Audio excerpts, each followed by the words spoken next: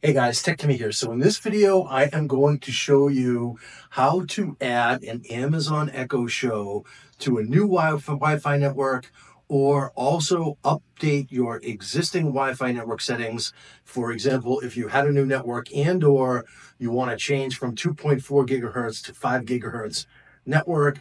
And then also stick around to the end of the video because I'm going to share some pro tips on whether or not you should actually choose 2.4 versus 5 gigahertz Wi-Fi network for you, all of your Amazon ALEXA devices. So stay tuned for that. But first, let's jump on to Echo Show, and I will show you how to change those Wi-Fi settings.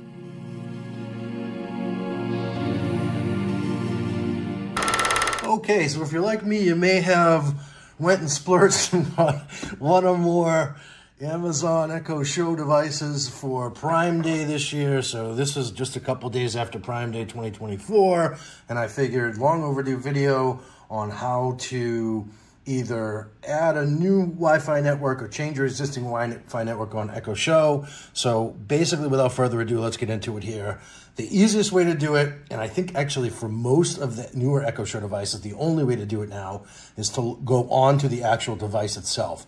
The other devices you can actually update in your Alexa app, but for Echo shows, that is not the case. So you want to swipe down from the top to get into settings. And then from here, we want to go to settings. So click on the little settings cog there.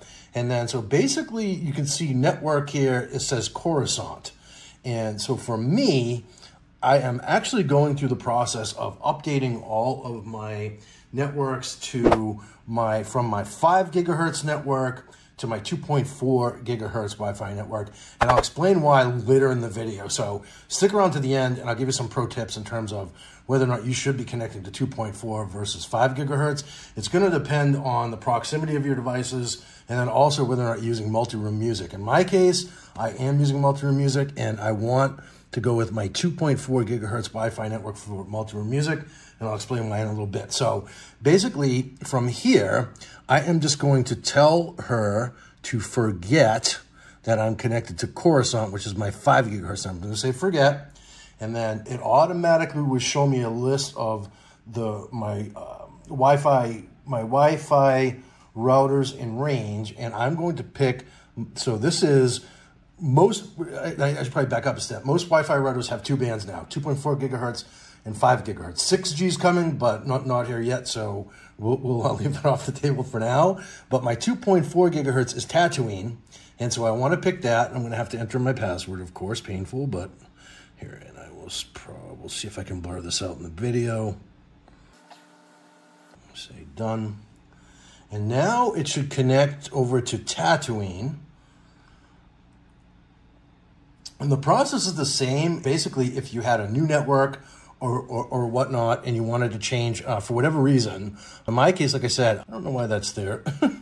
I am focused on my multi-room music right now and it's saying verify. So this is now, it wants me to verify using my Amazon account. So you need to enter, if you have a different password, you're to need to uh, enter that for your Amazon account next.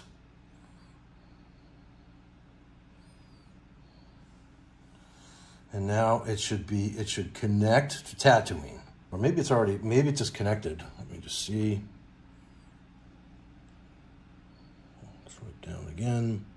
And we'll go to settings and the network Tatooine. Indeed. So that's how you do it. So that's how you basically swap out one network for another and or put your device onto a Wi-Fi network if it's not set up already generally when you buy a new device, the step-by-step setup process should walk you through this, this piece anyhow. But what's interesting, where things get interesting is if you want to change from one band to the next. And so in terms of, and the process I'll just say is the same whether or not you have the Echo Show 8, which I do here, my Echo Show 5, which I think is out, out of the shot, and or the Echo Show 15. Process is going to be the exact same for the newer devices. I do believe some of the older devices will still support configuration in the ALEXA app, but for our purposes, that's what you need to do. And then in terms of those pro tips, and I actually took some notes here for you guys, so basically, if you're near the, if so, if you have, if the, what you want to do is going to depend on whether or not you're going to run run Alexa multi-room music or not. So if you want multi-room music, go for, go with 2.4 gigahertz throughout your home. Period. Plain and simple. So that is what the experts recommend, and also Amazon recommends for uh, multi-room music. And the reason being is they have a mix of 2.4 and 5 gigahertz. When you're streaming music, it can cause interference and, and, wonky things can happen. So that's what I'm doing now. I'm actually going through, and so Tatooine, as I said, my 2.4 gigahertz network. So I want that for all of my devices so I have a more seamless multi-room experience. My multi-room music has been a little wonky this summer, so I'm trying to I'm, tr I'm trying to get that fixed across all of my devices.